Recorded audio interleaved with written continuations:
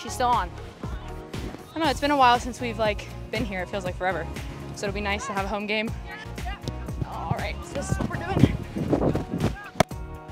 It'll be good to open up with conference at home because like I feel like with our conference we travel so much, we play so many road games, and it's like anytime we get to play at home, it's like a huge benefit. Good ball, Claire. Yep. Yeah, Mac. Good save. I think we're all ready to enter into conference and make our mark early. Good. Woo! That's a good finish.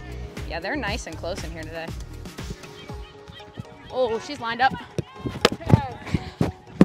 Hi guys, I'm Emma. I'm a junior, and my fun fact is I like sharks.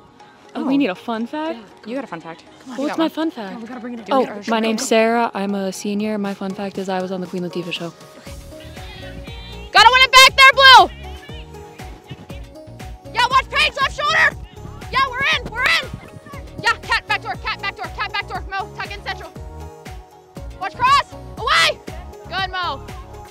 Play.